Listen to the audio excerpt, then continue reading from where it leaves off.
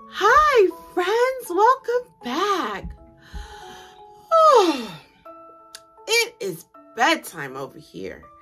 And this segment is called Bedtime Story with Mrs. Kat. I have my snuggle Betty from Jesus above here. This is Lucille. You know Mrs. Kat has seven kingdom kids? I do. So, as we get ready to start our story, oh, hold on. You see my friends? what time is it? It's time to choose our snuggle buddy. Oh, I'm so excited. Yes. Lucille chose her snuggle buddy. Look. That's her snuggle buddy. And I'm going to choose one of Lucille's snuggle buddies, Miss Jellybeans.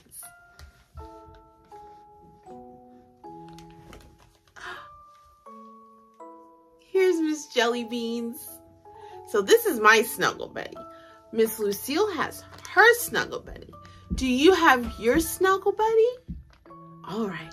Well, I'm going to give you 10 seconds to go get your snuggle buddy. Ready? 10, 9, 8, 7, 6, 5, 4, 3, 2, 1. Well, I'm snug in my bed and I'm ready to read our story tonight. So let's get started. The Berenstain Bears and the Trouble with Friends by Stan and Jan Berenstain.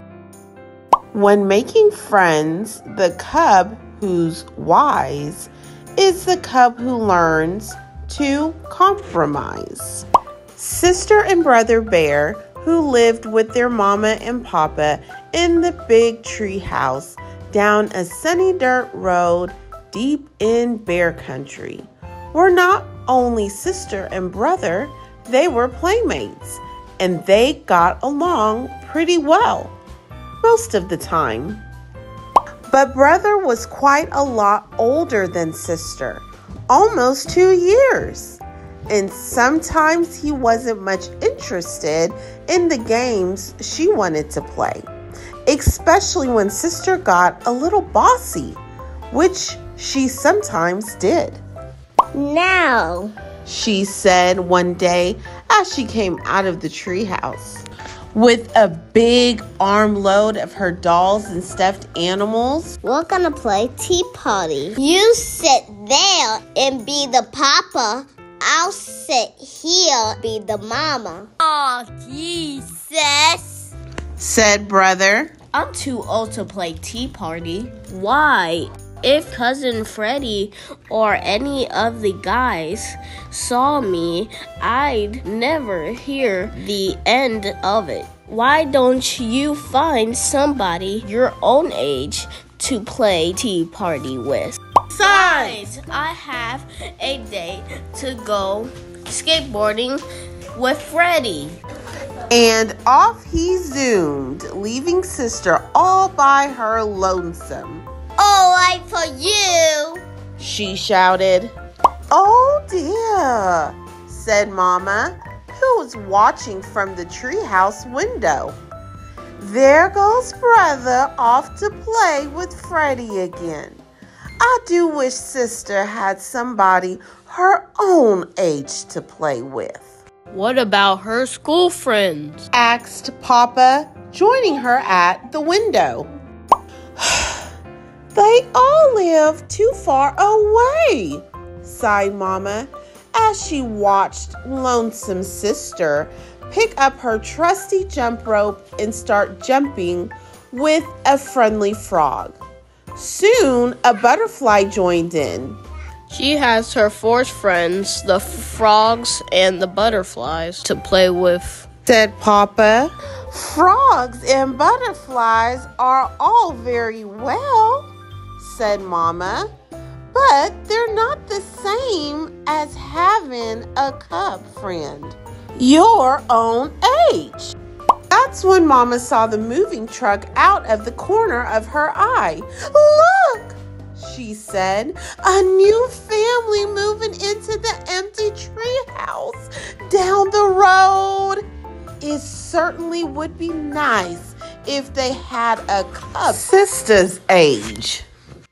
Sister saw the truck too and the car following it. Somebody's moving into the empty tree house. She said, I wonder if they have any cups. And off she skipped down the road to investigate. The truck stopped at the empty house and the moving bears began to unload it. The car pulled in behind the truck and the new family got out. There was a mama, a papa, and a little girl cub just about sister's age. Sister could hardly believe her good luck. Just what she needed a little girl cub to jump rope, play tea party, and house and school and have all kinds of cub fun with. She could hardly wait to say hello. She skipped over and introduced herself. Hi, I'm Sister Bear. I I'm six years old and I live just down the road. Hi, Said the new cub. I'm Lizzie Bruin, and this is my papa and my mama, Mr. and Mrs. Bruin. I'm six years old too. May I try your jump rope? I can do red hot pepper. And could she ever? Lizzie Bruin was the fastest rope jumper Sister had ever seen, I can jump to a thousand. said Sister. I can do a thousand and one. Said Lizzie, returning the rope. A thousand and two. Snapped Sister. A thousand and three. Said Lizzie. Well, well, just see about that. Let's have a jump off here and now. Said Sister. Let's not and say we did. Said Lizzie. Say, isn't that a playground over there? Last one's there, a rotten egg. And off she ran with Sis doing her best to catch up. Well, said Mama, who had been watching from the window, the new cub certainly is a lively little thing. She may be just what Sister needs. Sister and Lizzie had quite an afternoon. They climbed to the top of the jungle gym, rode the seesaw, and pushed each other on the swings. They played tag, laughed and giggled, rolled down a grassy bank, and picked wild flowers for their mamas. Why, thank you, sister. How lovely, said Mama, putting her wild flowers in water. Well, what's your new friend like? Her name is Lizzie. She's six years old. She's the only cub. And Sister said. she's a little bossy. Oh, said Mama. Well, you certainly seem to be having fun, Oh, yes. said Sister. I have a lot of fun. A little bossy and a little braggy. The next morning, bright and early, the phone rang. It was Sister's new friend, Lizzie. Lizzie had set up the garage like a schoolroom. There were boxes for the pupils to sit on, and there was another box for the teacher's desk. There was even a blackboard and chalk for lessons, This is going to be fun. thought Sister Bear as she began sitting her toys on the boxes. That's when she heard the tapping sound. It was Lizzie tapping on the desk. She had a pretend pointer in one hand and a piece of chalk in the other. Please be seated, sister. It's time for your lessons. Today I'm going to teach you the alphabet. The first letter of the alphabet is. Now, just a minute. Protested Sister. Who said you're going to be the teacher? When I play school, I'm the teacher. Not only that, I already know my ABCs. Sister Bear, if you don't sit down this minute, I'm going to keep you after school, said Lizzie. Is that so? shouted Sister. Well, if you don't give me that pointer, I'm gonna keep you after school. That's when Sister grabbed the pointer.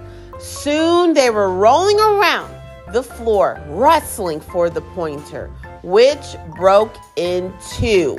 Now look at what you did! shouted Lizzie. You broke my best pointer! I'm not gonna play with you ever again, shouted Sister, gathering up her toys. I'm gonna take my dolls and go home. Sister's mad and I'm glad, shouted Lizzie as Sister marched out of the garage. Lizzie, Lizzie, in a tizzy. Sister shouted back. Back so soon? asked Mama when Sister returned looking like a storm cloud. I'm never gonna play that Lizzie Bruin again, shouted Sister. She's much too braggy and bossy. I don't need her to play school or anything else. It's much better playing by yourself.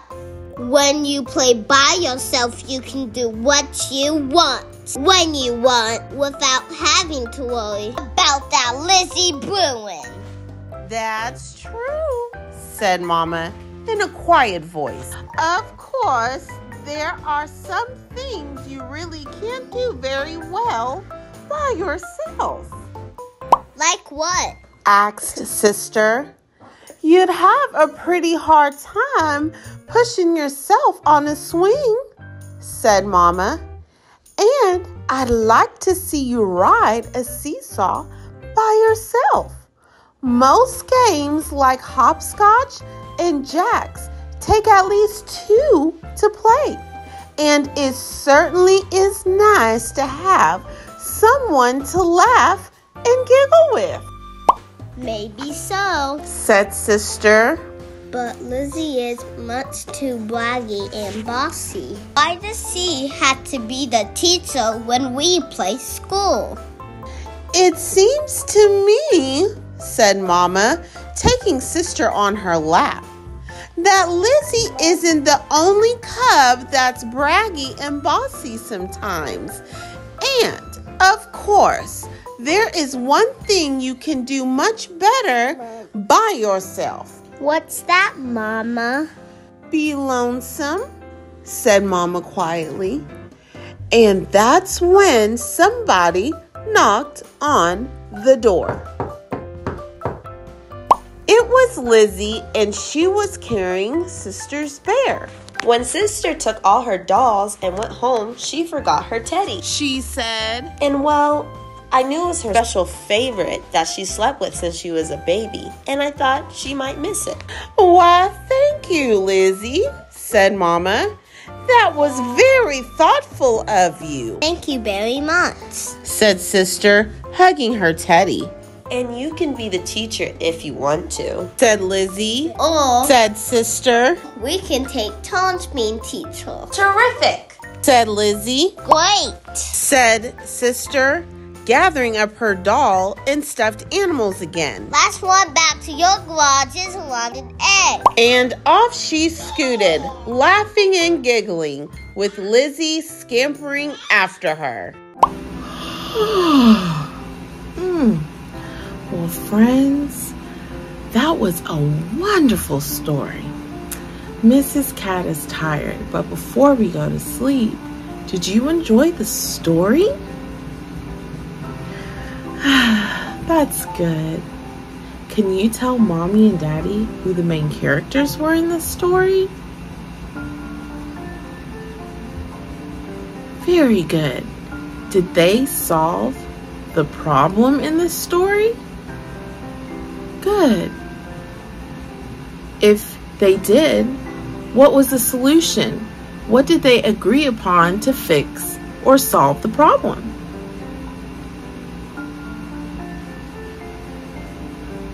Very good. Well, I couldn't go without letting you know that my very own snuggle buddy is in bed. You want to see? Okay.